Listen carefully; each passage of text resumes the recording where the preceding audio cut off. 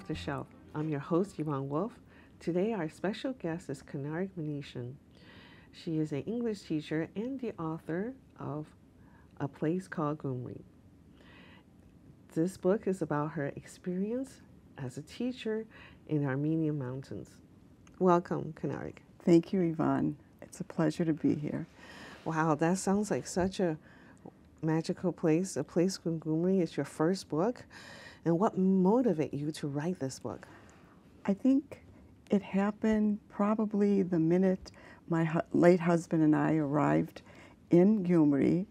It is the second largest city in Armenia, but we selected Gyumri because it was in the earthquake center, mm. uh, earthquake zone, because in 1988 Armenia suffered a devastating earthquake, especially up in the northern region and that's where Gyumri is.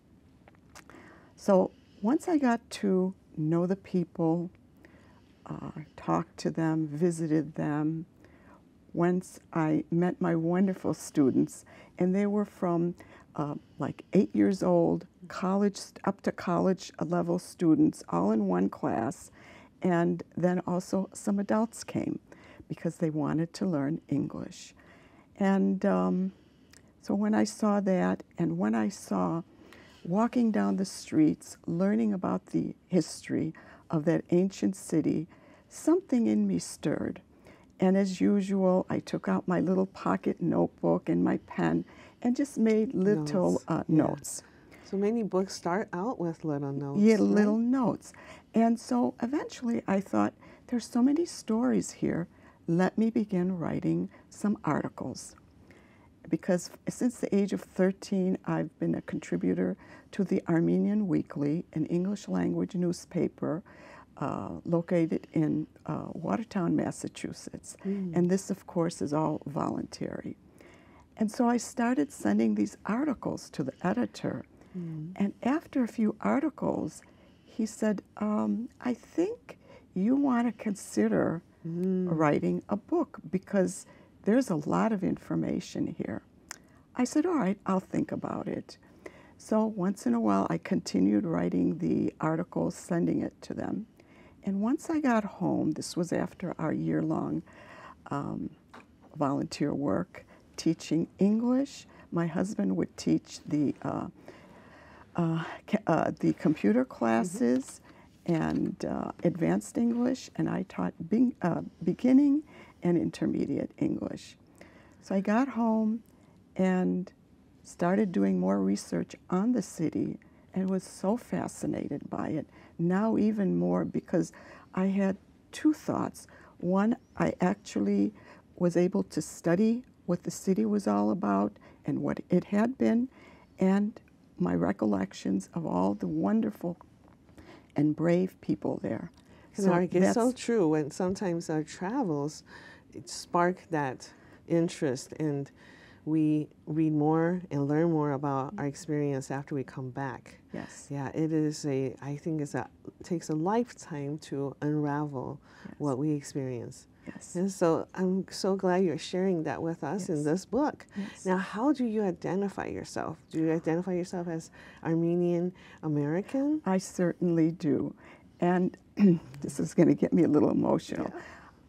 I am in love with both countries, Armenia and my adopted country of the United States of America. Because it has offered so much. And what is the much? Freedom. Just freedom to do, you know, what you wanted to do, what you want to be. And one of the most important things that I learned from my very first day in kindergarten, because my parents and I came when we uh, when I was about five, nearly five. The first day of school, I met this wonderful, wonderful kindergarten teacher. I couldn't understand a word she said, and I saw all the students. I couldn't understand what they were saying. So, so much like my experience coming to America yes. when I was eight. So, yeah. yes, and. Yeah what a wonderful start, beginning, yes, right? Right.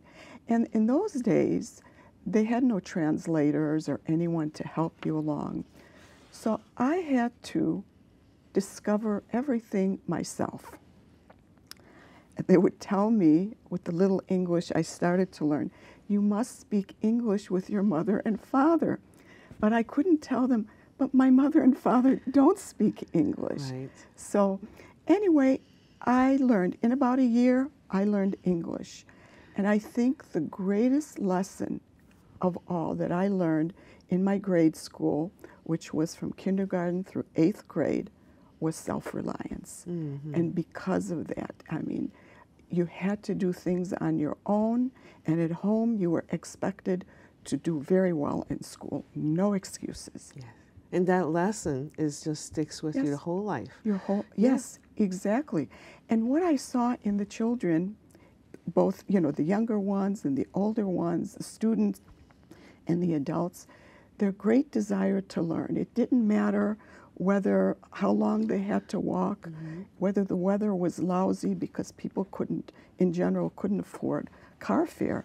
So everyone, I could identify with them too because I knew what they, uh, you know, what their hearts told them, and that is Yes. To study, to learn. Yes.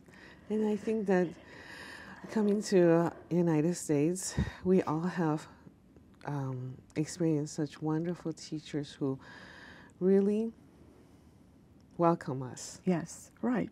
Yes, and just So- I wanted to add, this was the, uh, in the Chicago public school system. Yes. I had marvelous teachers. You mentioned that your teachers wanted you to speak English at home. But do your parents only speak Armenian or do you have another language at home? Uh, When we came, my my mother is Austrian, my father is Armenian from Armenia, and uh, actually I was born in a DP camp in Austria, and so we were um, sent from one camp in one country to another. So it was Austria, it was France, and Germany, and then we came to the United States. So with my mother, I spoke German, and with my father, Armenian, and I knew French. But when we came to this country, Didn't help. did not help because I could not speak English, and my parents didn't speak English. wow. Yes. Yes. It is definitely a journey. So, so what I thought about later on, I said, you know, this is a perfect example of how I feel about my adopted country, the United States of America, and my beloved Armenia. I, I liken it to two parents. One is the mother, one is the father. So, That is such a great analogy. I feel that there's so much of our cultures mixed here, and we have to find our own interpretation of how we can. We're big enough to incorporate all of it. yes. Yes, we're not one or the other. We're not confused. we're No. not split. No. We're just big enough to hold all Yes. that within us. Yes. So tell us a little bit about your journey becoming an English teacher. Was that inspired by this this welcomeness, that this warmth that we f- you feel that Yes, uh, yes. that your teachers passed on to you in this country? Yes, what I liked, and I, I think each grade I learned more and more about teaching. And what would happen is I worked very hard, very shy in class. And in those days, there were about 40, 42 students in a class, and the teachers had no assistants. They did everything themselves. And I always liked them because they were they looked so professional. They really didn't yell at anyone. They had they caught your attention. And on top of that, they instilled in you a great love for learning. Mm-hmm. And I said, someday I want to become a teacher. I want to do the same thing. Yes, and teach the generosity of spirit Yes. to Yes. to our students. Yes. Now, I understand that this book is a tribute. It is not only to the eager Armenian students that you taught there, but also your late husband, Murad, Yes. Yes. who who uh, who this trip could not be made without. right? Absolutely. And how were you and your late husband invited to teach there? Okay. what an opportunity! That was that's a very nice question. One day, because I, you know, we get the Armenian Weekly every week, I saw an ad in the paper, and I, I said, "Oh, I think I want to do this," But I asked my husband, who uh, was newly retired, and I said, What do you think if we spend time in Armenia doing volunteer work? You can teach computer, and he was a chemist, analytical chemist, chemist, and I'll teach English. I said, you know, this sounds great. Yeah. Let's do it. Wow. So I uh, answered the uh, um, The the ad, ad, yeah. and uh, within a short time, we received a response. Uh, we look forward to seeing you in Armenia, and uh, you know, uh, to uh, you know, and meeting you in person. So that's how we got accepted. Wow, I think you have the perfect combination. Uh, Yes. my husband is also a chemistry teacher, so wow, I can Oh. imagine this kind of uh, what y- what you have to offer. There's almost a whole curriculum, Yes. right? Yes, So, yes. so your book gives us such a reality check. You know, what would you say is a message that you hold dear from your students in the Armenian mountains? You mentioned a little bit of that eagerness to learn, Yes. and that determination, motivation. Yes. What what amazed me so much, even though I saw with my own eyes the hardships that they every day they had to go through and their mothers making sure that they were neatly dressed and that they their homework was always prepared. So that amazed me, but also no matter what their stories were, how difficult some a child may have lost a father, may have lost a mother, uh, a child may have not had enough food to eat. They came to school with a smile on their face and an eagerness and a thankfulness. So that that taught me so much, and I think one of the uh, an example of resilience and to do the best you can with what you have uh, is a poem I wrote, and it is in the book, and it's called Lala. Yes, you you have been very appreciative of the mothers who Yes. who work so hard. Yes, So I think this story tells us how you process what you saw, right? Yes. In a way that you can express yourself and and feel and also honor them. yes. And it's not only the mothers, the fathers had an extremely difficult time because oftentimes there would be no jobs. And they were then forced to leave the country. Many of them went to Russia mm-hmm. with their sons to work to send money home so, another, so that the family could survive. Mm-hmm. And here's an example of such a thing where the mother is left alone with this uh, daughter, and I will, it'll, I'll describe it in the poem. And it's a one room home. And the prettiest bed in the house, in the one room, is so there are four beds, and each bed is covered with the gray woolen blanket. But the one bed had the gray woolen blanket, but there was a pink, pretty sheet over it that was like the bedspread for the daughter. And here is what the mother, every day, she had to take care of her daughter before going to work in the fields. And then coming home at night, had to take care of her daughter. And this is her daughter, Lala. Lala is little, not because she is a child. She never finished growing. Forever her mother's baby, her father's if only. She spends her days in the tonir room, where once a week her mother bakes bread, thin, round, flat bread, lavash, the first piece always for the Lord. Lala looks on as her mother bakes. She utters sound only the Lord and her mother understand, and her mother nods, giving her lavash, the second piece always for Lala. With mangled fingers, Lala holds the bread and takes a bite. Stooped and wobbling, she gurgles and grins. She crawls, then steps to the window, mangled feet barely holding her up. Ah, ah, she sings as she sits on the floor and claps. Ah, ah, she says as she rocks and points at birds flying past the window. Lala's mother looks at her baby of 38 and sighs. so beautiful. Yeah. And, uh, And this is what this mother had to go through every day.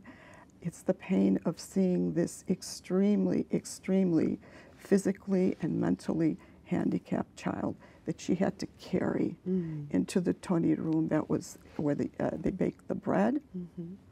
left her there with some food on the floor because she can't sit or anything like No. that. She stayed there all day until her mother came home from the fields Yeah. and then would bathe her, feed her, Mhm. and put her in the prettiest bed in the house. Mm. And this is an so beautiful. example of all the hardships these people went through, Mhm. and yet they made the best of it. They found a little something to bring sunshine into their lives. Yes, yes. And she's still very uh, starts the day with being grateful to God. Yes, uh, yes, yes. Now, you were so kind to invite me to your book signing event at the um, Armenian Community Center at the, oh gosh, the, at the hall. Shahnazarian yes, you Hall. say yes, in Glenview. And it was such a wonderful place. And it's been there since the 1970s, I Yes. read. Mhm. So I have. I had a wonderful opportunity to meet your congregation and all the people who support your work. Yes.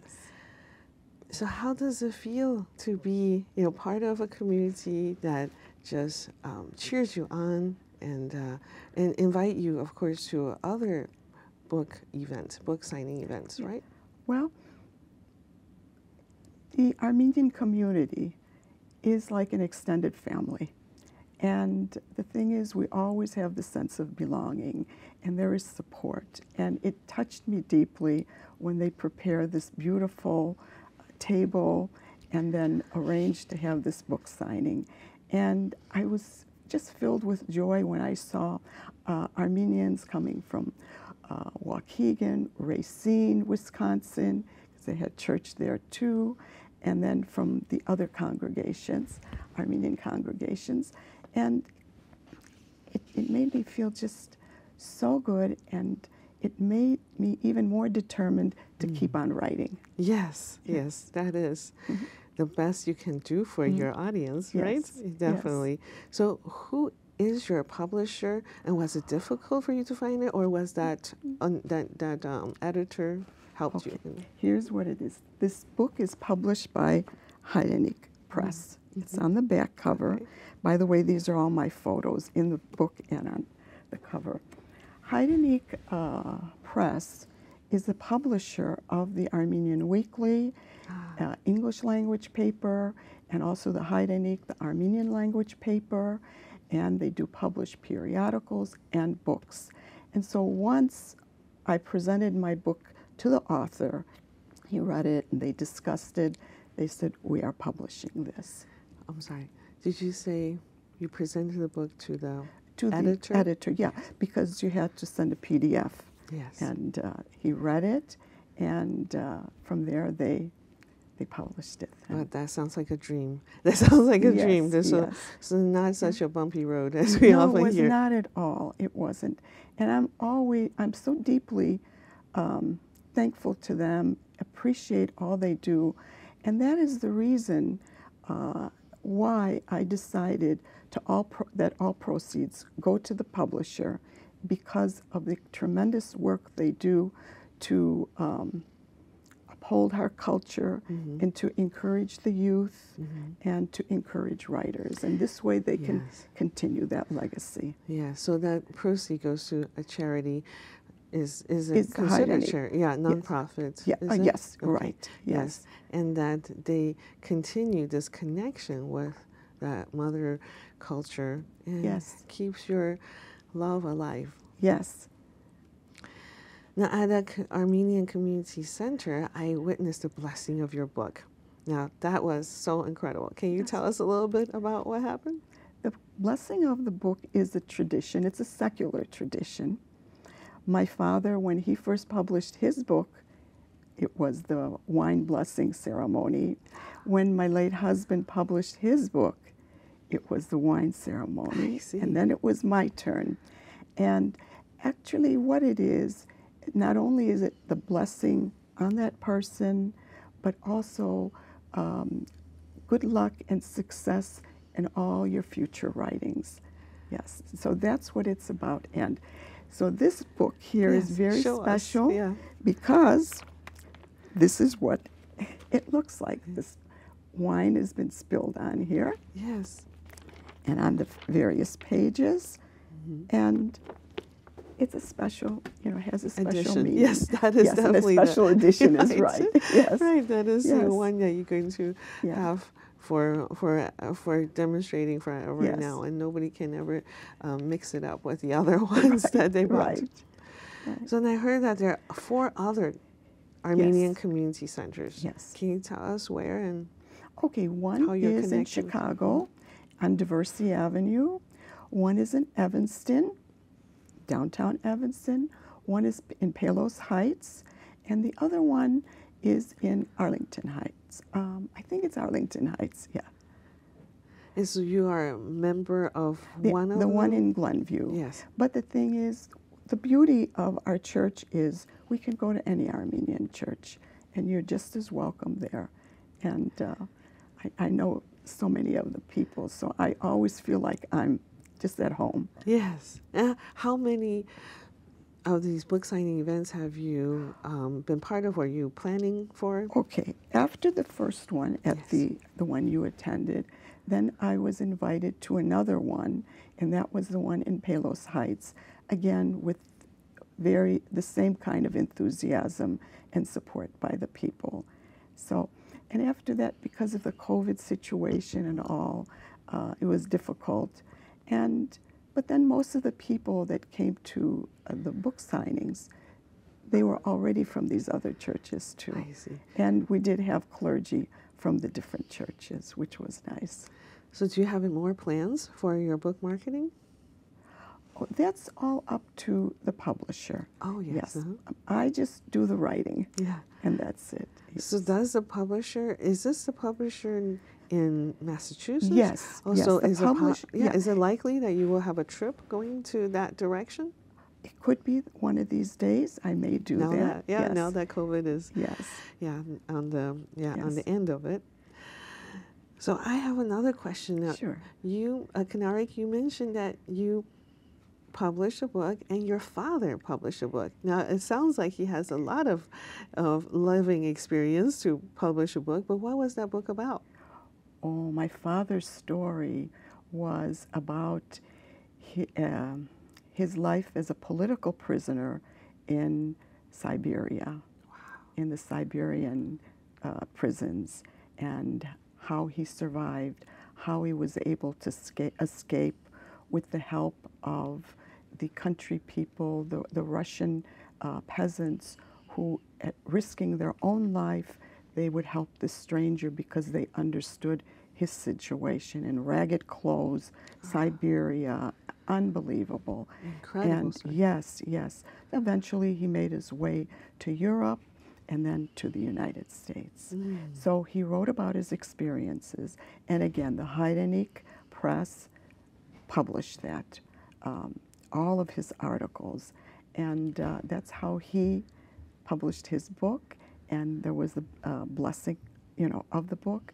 And then later on, my husband uh, wrote about the village life of his, his parents in uh, what is now Turkey, but it was in Govdun, and about the massacres and how his Oh, yes. family was uh, killed. And so he wrote about the, tr- uh, the daily life of the people and the customs and traditions.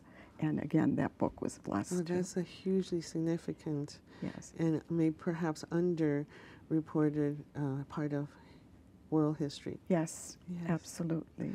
Absolutely. Do you have a quote or a short message for our writers out there?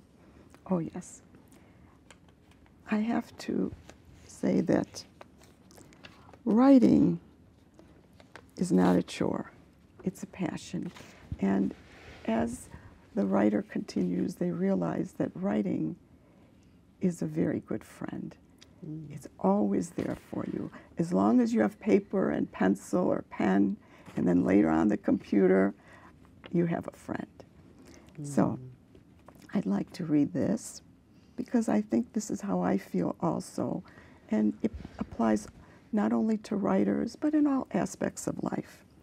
Whatever course you decide upon, there is always someone to tell you that you are wrong. There are always difficulties arising that tempt you to believe that your critics are right.